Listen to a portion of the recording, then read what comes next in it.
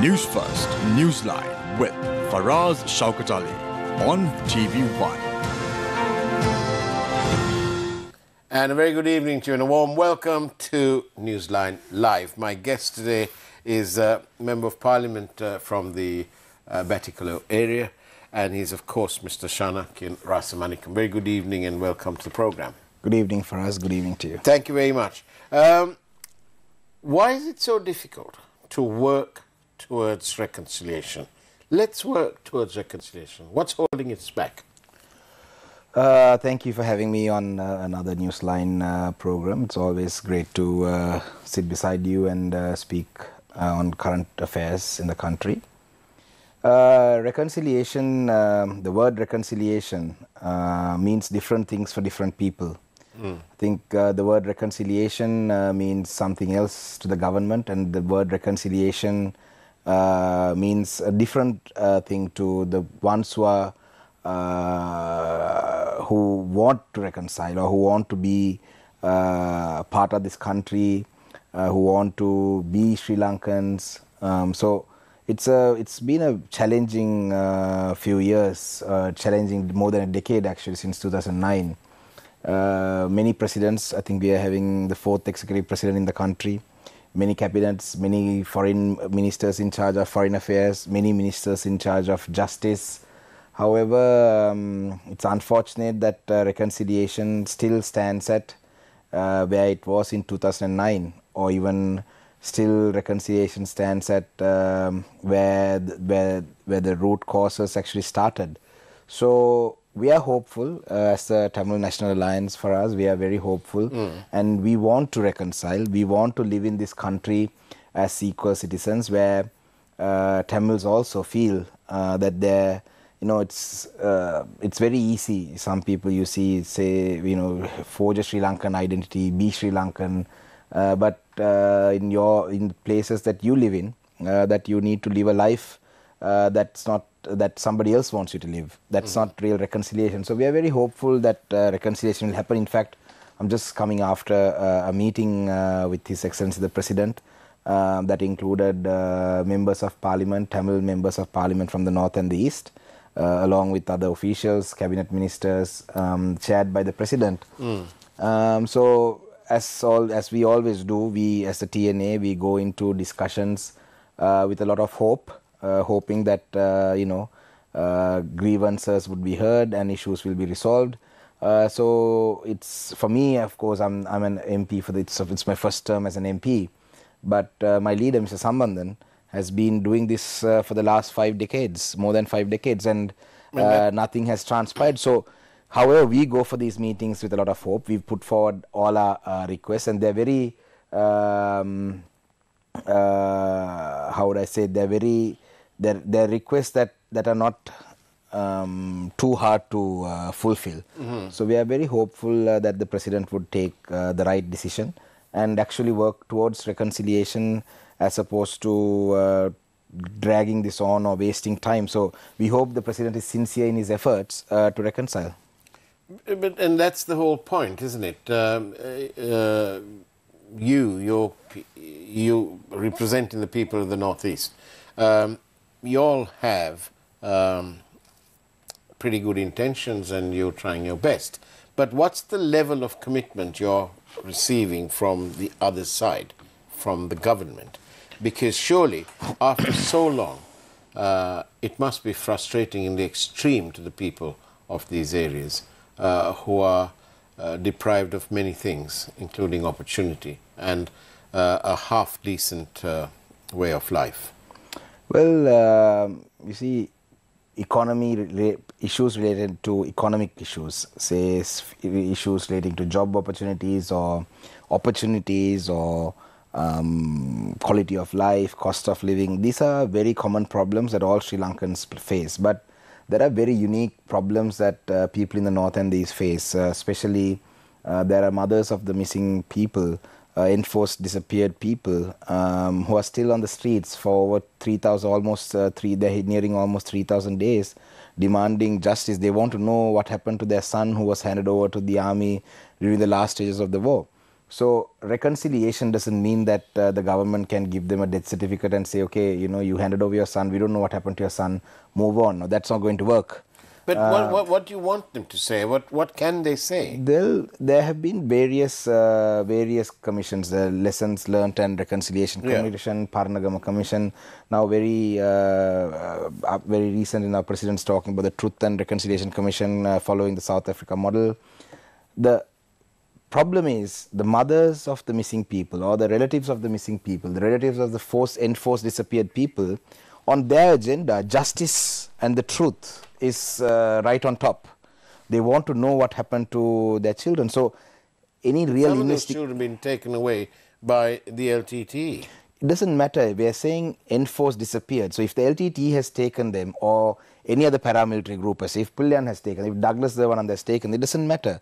The mothers don't. Mothers are demanding for justice. There are very specific cases where the mother says, at this check army point, this uh, uh, division Yeah. took over my son, and they got them on a bus. So Yeah. they have very direct questions. They want to know what happened to their children. So, And but the you think- governments who do you think will but- have the answers, the real answers? which is precisely why we need to have investigations that we need to start. So the invest- it's been 14 years, and there's we are not we can't be satisfied with the investigations that have happened. I mean, the Office of Missing People were there, and they they they on their self, on their part admitted that they have been very slow. So, ever since the let me let me finish the Yeah. let me finish the the finish the entire point. So, the government's point of view, the government's point of view is we saw uh, Minister Ali Sabri when he was uh, Minister in charge of Justice was went to Jaffna and said we will issue you death certificates and we will give you a compensation of 100,000 rupees. The life of one child to the mother was 100,000 rupees and a death certificate. Whereas the mothers want to say, mothers said, you know, hell with your 100,000 rupees and your death certificate. If you're saying my son is dead, if you're saying my daughter is dead, how did my son die? How did my daughter die? Where is the truth? If there is, if there is evidence, you need to investigate. So, but the problem here is that even the Truth and Reconciliation Commission that we're talking about, unless there is some sort of foreign involvement, like a third party, like foreign judges or foreign uh, over, overseers or some sort of foreign oversight, I don't think the victim community is going to accept it because they have lost faith. Because, and I don't blame them. 14 years if you couldn't deliver. Um, you see, is again we had President Ranil Wickremesinghe was the prime minister at the time. It was his cabinet. So it's not like we are giving president a new new. It's not a new person who's going to try again.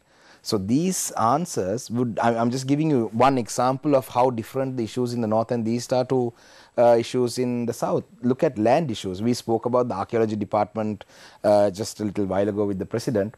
Whilst we are meeting the president and having discussions with archaeological uh, department related issues, this morning two Hindu priests were arrested for uh, entering a place of worship that uh, Hindus have used for uh, the last uh, few hundred years, and they have been arrested. And they have been uh, they have been arrested today. On, the only crime they've committed is to enter the premises to uh, follow their religious observances, and there is a court case that allows them to go there. And a few days ago, we saw Minister Sarath Weerasekara was present at that site. The minister in charge of archaeology, Vidura Wickramanayaka, leads uh, some, leads a group of people, army mostly, and he destroys a Hindu temple shrine.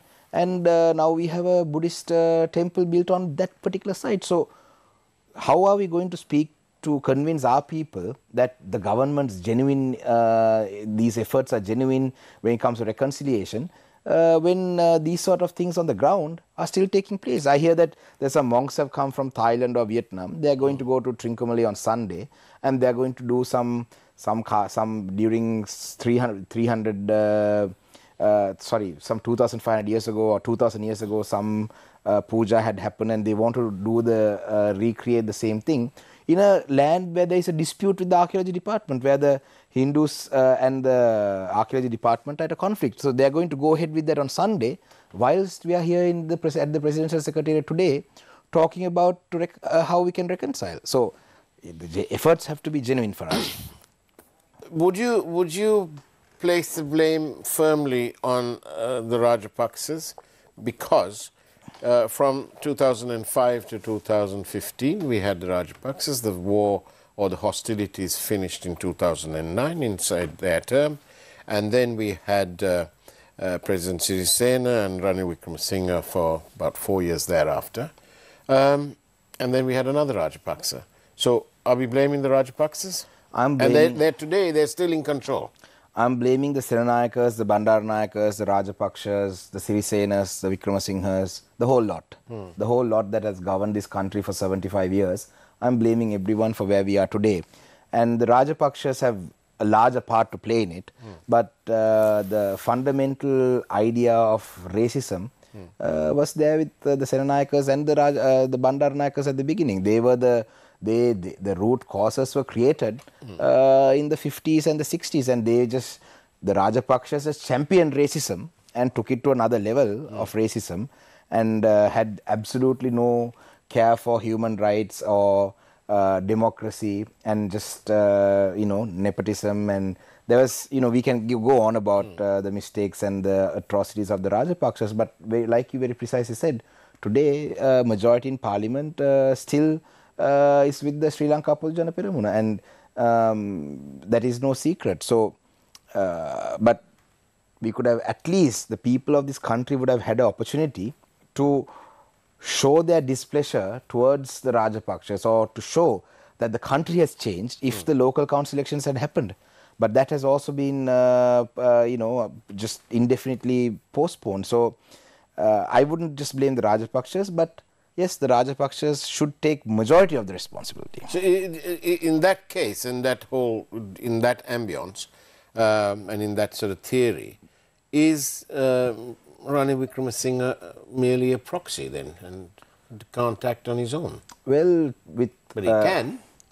Well, um, you know, we need to give Ranil Wickremesinghe uh, the credit today. For? Uh, in fact, uh, however long it has taken uh, uh, with the IMF agreement, Ranil Wickremesinghe has been able to uh, actually um, complete the IMF and uh, uh, reach a staff level agreement or uh, get access to the uh, extended fund facility.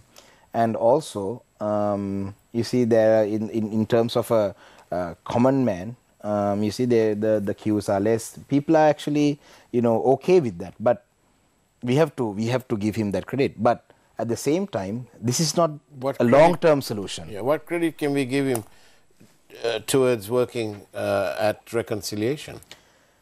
Well, like I said, the efforts are being put in place, but is he genuine? Is the question because there is a How could he be genuine if he is being backed by the Rajapaksas? We just said, we were just talking about them. Well, for us, we have to we have to look at it uh, from a very broader uh, prospect. The Rajapakshas, if the Rajapakshas are fully uh, backing him, uh, which I think they are, which I think because the Pohottuwa government is fully backing him, so that's the proxy of the Rajapakshas. Um, there, there may not even be a discussion for reconciliation. Maybe. I mean, I mean, this is anybody's guess. But when there is a discussion, when there is an opportunity for reconciliation, we need to give it hundred percent. That is my position. That is my view. So, if the president is genuine or not, if he is going to deliver this or not, is he going to be able to deliver or not? We still have to participate in any of the discussions because that is what our people sent us to uh, Parliament. That's the mandate that our people gave us. But let me let me finish about why I said uh, we must give some credit to the president. Even though we give credit to the president, there are many things that the president could do differently. You see, even with the taxation, the president has president and the policies of the government have burdened so many uh, so many individuals, whereas we have proposed so many mechanisms. I think the pay tax, um, uh, so rather the tax uh, withholding tax, Yeah. tax on withholding tax interest uh, income.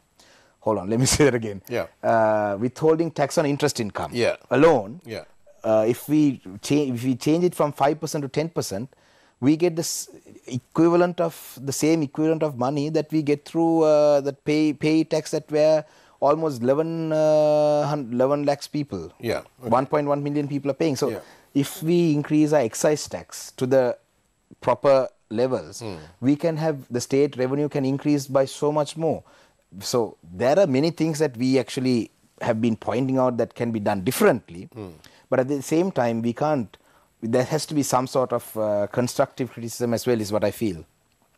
Thank you, uh, uh, Mr. Rasamanickam. On that note, let's go for a short break in which we take a peek at tonight's headlines from the News First Primetime News team. We'll see you on the other side of the break with Shanakiyan Rasamanickam.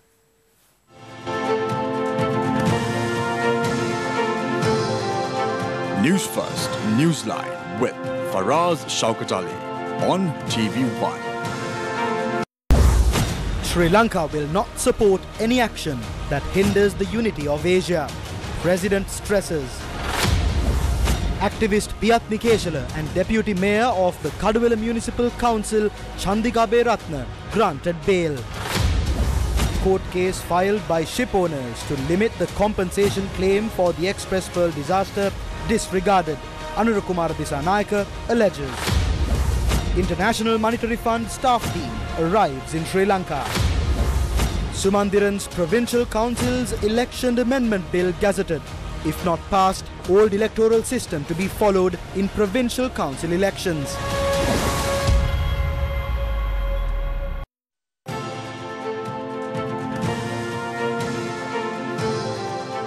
News First Took it to Newsline reconcile, with I. Faraz Shaukat Ali on TV1. And welcome back to Newsline Live. I'm in conversation with the Member of Parliament from the Batikro district, Shanakiyan Rasamanickam, and we're talking, let's work towards reconciliation. Now then, you know these talks you've had with the President today, uh, I believe it's going on for, going to have... One for more day. One more day. Um, what are the nitty-gritties you're talking about? Well, uh, today was mostly about uh, land issues and the Truth and Reconciliation Commission, uh, the new proposed ATA or and repealing the PTA, uh, issues of the missing people, which we've already discussed, and the release Yeah. of uh, the political prisoners. Yeah. Uh, land issues took most of the time uh, because there are many issues uh, that are uh, in the north and the east. Um, so, see, these, these, some of these things we feel that the president can immediately use his executive power to uh, change these things. But when we put that forward to the president, president said that he needs to have a, a system in place and he doesn't want to take haphazard decisions. Now, this is what the president said. So, we have i yesterday in fact in parliament i said this as well if anybody thinks that the tna and the tamil people can be taken for a ride uh, just so that they could uh, score just so that they could show the international community that they're trying to resolve just so so that they can um, show the world uh, that uh, that you know they're sincere in these efforts. Uh, but and and lead us on for a little while and then the this is what normally happens. You know Yeah. discussions start you know we we put our proposals our people are hopeful and then these go on for a little while and then you know as soon as uh, and, and it's time for elections all these things are forgotten so if anybody feels including the president himself that this again that this can be done we are very very very um, we are very very very uh, we believe we believe that we cannot allow that to happen this time and our, pe- our people will not get fooled one more time because how, how do you convert this thing? You get you get so close. You know, you you're awarded the uh, the penalty kick, and then then the ball's taken off. Well, basically, we are not the ones driving it. All we can do is we can put forward our grievances. We can we can provide solutions, but we are not the ones to implement them. But that's the case with most things in Sri Lanka. There are many laws that we don't implement. So this time around, uh, we are not going to blindly wait for months and uh, years uh, for this to happen. If these talks don't work out, uh, we will call the bluff straight away and we will tell our people that uh, we've been cheated. So if the president is sincere, we hope he is, uh, he could deliver on some of these land issues immediately. Uh, and then we can work on uh, work on a system so that this doesn't happen again. So tomorrow is an even more important discussion. It's about devolution for the entire country, how power can be devolved to develop Sri Lanka as a country, not just for the north and the east. So we are we are going to participate in these talks. But if the president feels that he can drag these discussions on till you know a president's election and then say look you know i didn't have enough time. Elect me one more time and then i will deliver this.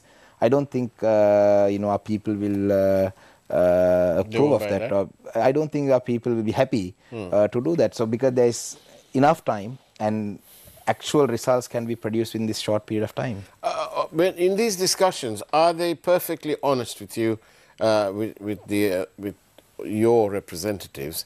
And are they saying to you, look, you can talk about anything else, but if you're talking about lands occupied by the military, we need them, we're not going to discuss. Are they upfront and open about that? Uh, lands, is it, are you talking about my constituents? Or yes, you? your constituents, any, any land that is uh, being occupied now by the military, and usually I've had a uh, defense secretary on my program who said, look, that's not negotiable. We will not give up those yeah. lands. Well, how can someone not release your private land? Yeah. But if they say for security reasons, we now identify that we need that land there. So for us, there could be specific, there could be one or two isolated places, isolated cases, yeah. uh, where there could be, even though I don't approve of it, uh, it's private land is private land. Hmm. Uh, you know, they, they, that is these sort of policies is what has brought Sri Lanka to this uh, place. There are schools. So some of these army camps, there's one in Batiklo in uh, Morakottanchenai, uh, almost a 10 acre plot of land mm. where the army does not even use uh, more than one acre. But mm-hmm. you know, the school, the premises of the school uh, is still under the army's occupation. There's a post office. I mean, these are very simple things. There, this is, there's a post office in Batiklo where the army refuses to give uh, two or three perches of the camp that's behind the post office, that's a state post office, to build a toilet. See, so the army cannot think that they you know that they own this country and that it's uh, that they could do anything that they want if there's private land there has to be the is there a mechanism to for someone to be the arbiter the army says we need this for security reasons uh, for the for the you know the for the rest of the country as well for everyone and and uh, the other side says no it's not it's just you're only putting a toilet in there so for us i think as an island um, you know, we need maritime security. We need to protect our coast. If there's anything that need to be strengthened, I would say it should be a navy that should be strengthened. Mm-hmm. Uh, since the end of the war, our, our numbers have increased. Our military uh, number of uh, military uh, personnel has increased. We are the only country where, after a war, where we have uh, almost increased by 100,000. So we need to downsize our army. The army's expenditure, the defense budget is the largest budget in this country. God knows what happens to that budget. Um, there are many camps that actually don't serve a purpose right now, uh, and these are, these don't cause any sort of national security threats either, uh, as per the assessment of many experts. So I think even today uh, we raise some of these issues, and uh, we are hoping to discuss these issues. So our position is that you know that land that belongs to the people. If it could be a sports ground, it could be a school, mm. it could be a divisional secretary's office. Yeah. These need to be handed back to the people. You know, we need to reduce. We need a large. We need to reduce our numbers in the military significantly because Have we discussed that aspect with the president? The reduction of the military yeah. personnel, no, because that's not uh, that's not a matter that just concerns the north and east. That's a matter of national interest. But reducing rather releasing lands that the army is occupying, yeah, definitely there are 3,000 acres of land that belong to the people that are that is still declared as a high security zone mm. where people are denied access. They they they are paddy lands. There are lands where there are houses. So this is that is that is not acceptable. So I ho- I, ho- I hope that the defense secretary who said that has now at least changed his position mm. that that that it it is negotiable Mm. Because otherwise there is no reconciliation. How can you reconcile when you, if I'm taking your land and I'm using, I'm not even using that land, I'm just holding it on, hold on, holding on to it because I can. Would you think uh, you, you, would want to reconcile? When you have a peaceful moment, have you thought yourself, what is the rationale? Why are they doing this? Well, it's because the, the since the end of the war, like we discussed, there has been no real reconciliation. Mahinda Rajapaksa, as soon as he finished the war, the first thing he did was go for elections because he knew he could ride on uh, the victory of the war. And since then, this country has been idolizing the war victory.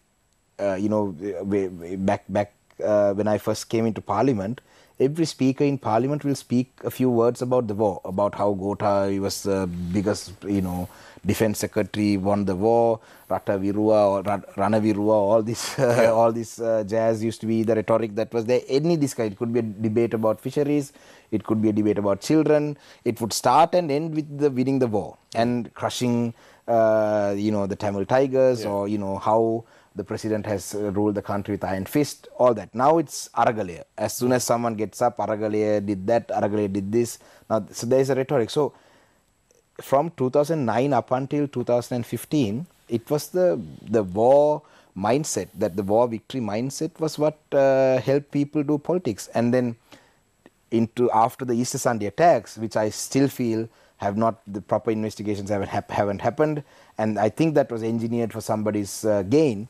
Uh, since then, again, it was national security. You know, Jatika Araksha was the main uh, topic. So um, these are the reasons. So if this holding on to these lands, this whole narrative of you know this uh, we need to hold on to this land because otherwise the LTT is going to come back, the LTT is going to regroup. All these these, these sort of rhetoric has been published and these these have been given to the masses in in in such a big in a massive scale that uh, you know people have voted for this. Now even there are some monks uh, who come and say just very recently uh, there are some. Uh, uh, some some very very very very uh, controversial monk I can't remember his name he said something uh, to the effect of uh, some simple law if this law is passed Uthurunaganehiren uh, all the Sinhala people will have to leave overnight. Some it, it had no relevance to the north and the east at all but just to just to pump people up and say you know this north and east is a problem. So this entire Tamil issue has been used as a boogeyman in this country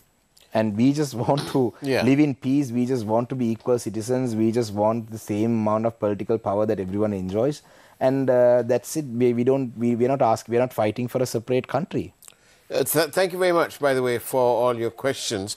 Um, we, we, most of these questions are reverting back uh, to uh, what you said about the president, that the president has done, achieved certain things. Uh, he's uh, managing uh, the sort of mismanaged parts of it. Uh, fuel is there. Okay, it's, it's sort of rationed, but it's there, and there are no queues, and so on. Um, so does that mean that he's, uh, he's the answer? that'll that'll be that'll be something I could answer uh, once the reconciliation efforts are done. With no reconciliation, there is no one. No one's the right choice. And, and and this president, do you think, if he uh, if he uh, resolves the reconciliation issue, um, at least to some extent, do you think he'll have a nice, easy ride towards re-election? Well, if the reconciliation issue is resolved, that will resolve the economic crisis to a certain extent. Large amount of investments. We will, as a TNA, we can bring in a large uh, sum of investments into the country. And if the economy is revived and there's a um, uh, reconciliation, will bring economic recovery. And if both are uh, resolved, uh, whoever resolves that will have a decent uh, chance, is what I feel. Question from Ratmalana uh, asking you um, what about compensation for the lands uh, being occupied by the military? Well, it's, it's a matter that should be decided by those people. Now, in fact, I have a land that belongs to me. I think in 2013, that land probably is worth, uh, at that time, let's say, just rough numbers, let's say the land was worth 100,000 rupees a perch. The government offered me 1,300 rupees per perch. So, you know, compensation, the valuations, uh, you know, it's just, it's the, the owner of the land. It could be a land that belonged to him for 500 years. You know, does he want to give it just so that some man's ego, so the military's ego, so the defense secretary, whoever who said this, so his ego could be satisfied. If it's a real uh, strategic location, and you know, those can be discussed. We're not saying, um, you know, place of strategic importance, you know, should be completely overlooked. But yes, if there's there's a case or two, we can look at them separately. But overall, a policy must be taken that people's land must be returned. As we come to the end, uh, Mr. Rasmanik, let me, let me ask you this question. Will there be reconciliation? Will the people of the former conflict areas and elsewhere in this country, will it, will it happen, let's say, in your lifetime?